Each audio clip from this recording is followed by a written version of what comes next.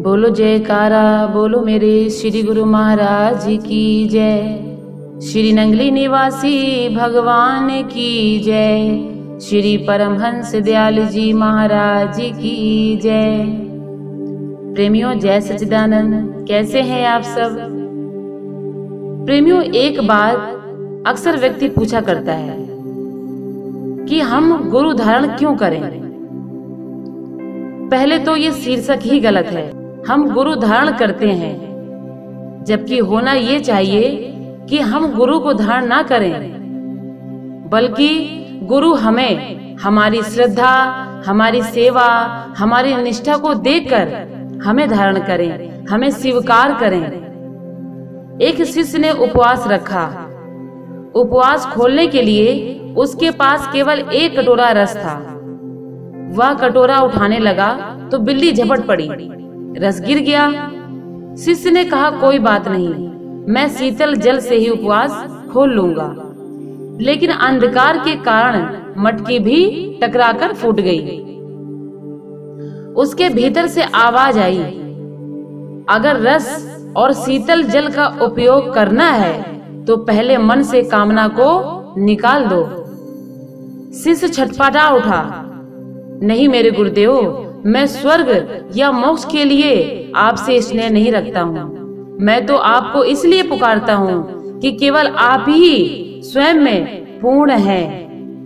गुरु तो स्वयं में पूर्ण है। उनमें हमारी श्रद्धा हो जाए तो बस जीवन के साथ शिष्य होना भी सफल हो जाए।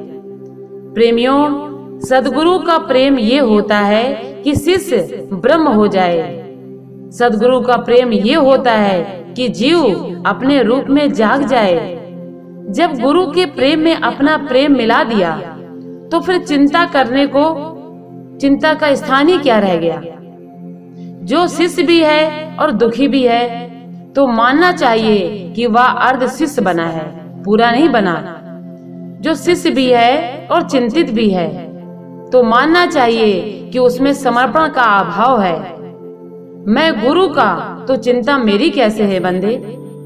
चिंता भी गुरु की हो गई ना? हम गुरु के हो गए तो अपमान मेरा कैसे हुआ? हम गुरु के हो गए तो समस्याएँ हमारी कैसे रह गई?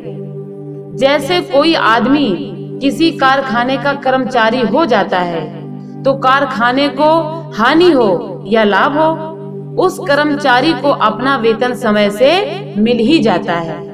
ऐसे ही हम जब सदगुरु के हो ही गए हैं तो हमारा अस्तित्व उनका हो गया।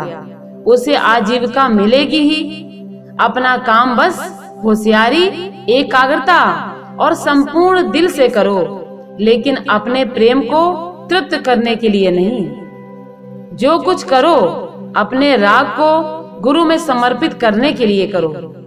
ये बिल्कुल सरल उपाय है, कष्ट को मिटाने के लिए। शिष्य सदगुरु के सिद्धांतों में अपने आप को मिला दे तो वह स्वयं सदगुरु बन जाता है। इसलिए कबीर बाबा कहते हैं, सदगुरु मेरा सूरमा, करे सबद की चोट, मारे गोला प्रेम का, हरे भरम का को जीव का भ्रम है, ये मिल जाए तो मैं सुखी हो जाऊँगा, ये दुख चला जाए तब मैं सुखी हो जाऊँगा, ये सारा का सारा भ्रम है। इससे अगर कोई सुखी होता तो विश्व में बहुत से लोग आज तक सुखी हो जाते। इन वस्तुओं से वास्तव में सुख का कोई संबंध नहीं है बंदे। सच्चे सुख का संबंध है द्वेष रहित होने से।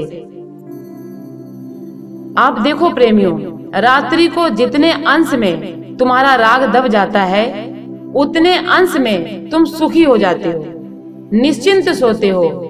सुबह होते ही तुम्हारा द्वेष फिर जागता है। ये करना है, वो करना है, ये लेना है, वहाँ जाना है तो मस्तिष्क में चिंताएँ सवार हो जाती हैं। और जब सत्संग के स्थान पर जाते हैं तो चिंताओं की बातों को छोड़ देते हैं। तब लगता है, आहा, गुरु ने बड़ा आनंद दिया, बड़ी शांति दी। गुरु ने आनंद नहीं दिया, गुरु ने शांति नहीं दी। चिंता रहित होकर तुमको शांति स्वतः ही मिल गई। जिनको अपने जीवन की महत्ता का पता है, जिनको वृद्धावस्था दिखती है, जिनको अपनी मृत्यु दिखती है, जिनको अपनी बाल्यावस्था का, गर्भावास का दुख दिखता है, जिनको संसार की नस्वरता दिखती है, जिनको सब संबंध स्वप्नवत दिखते हैं, ऐसे शिष्य मोह में, आडंबर में, विलास में और प्रमाद में न पड़कर गुरु तत्व की गहराई में जाने का प्रयत्न करते हैं। प्रेमियों, वो बुद्धि दुर्बुद्धि है, जिसमें सदगुरु के लिए तड़प न हो। वह धन केवल भार है, जो धन आत्म धन कमाने में काम न आए वह मन हमारा शत्रु है, जिस मन के द्वारा हम अपने गुरु से मिल ना पाए। प्रेमियों, वह तन हमारा शत्रु है, जिस तन से हम गुरु घर की सेवा न कर पाए, उन तक पहुँच ना पाए। प्रेमियों, यह अनमोल जीवन बड़े भाग से मिला है। कई जन्मों के जब पुण्य उदय होते हैं, तब हमें मानुष तन मिलता है। इस तन को पाकर अपने जीवन को व्यर्थ ना गवाओ।